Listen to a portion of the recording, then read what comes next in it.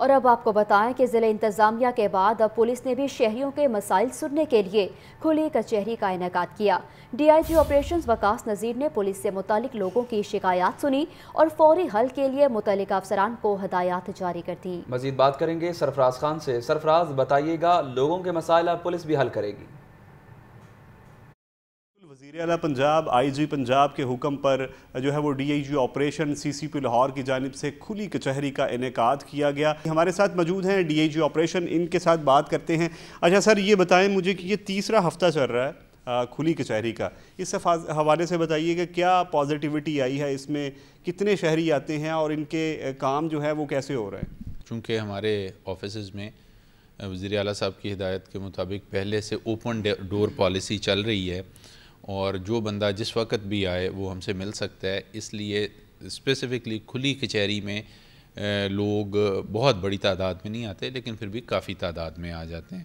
اور ان کو فائدہ یہ ہوتا ہے کہ پھر ان کو تین بجے سے پانچ بجے تک انتظار نہیں کرنا پڑتا۔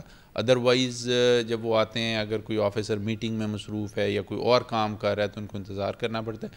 تھری ٹو فائیو اسپیسیفکلی ان کے لیے، جب بھی وہ آئیں، سیدھے ہمارے پاس آ سکتے ہیں، ان کی بات سن کے۔ ان کی داد رسی کی جاتی ہے۔ اچھا سر مجھے یہ بتائیں کہ جو ہے وہ یہ تیسرا ہفتہ چل رہا ہے کھلی کچہری کا۔ جو شہری ہیں وہ اتنا اویئر نہیں ہیں کہ کھلی کچہری کہاں پہ ہوتی ہے۔ کیا آپ سمجھتے ہیں کہ اس حوالے سے خاص طور پہ پولیس کی جانب سے کمپین شروع کی جائے؟ جی الیکٹرانک میڈیا کے تھرو بھی اس چیز کا لوگوں کو آگاہ کیا جاتا ہے۔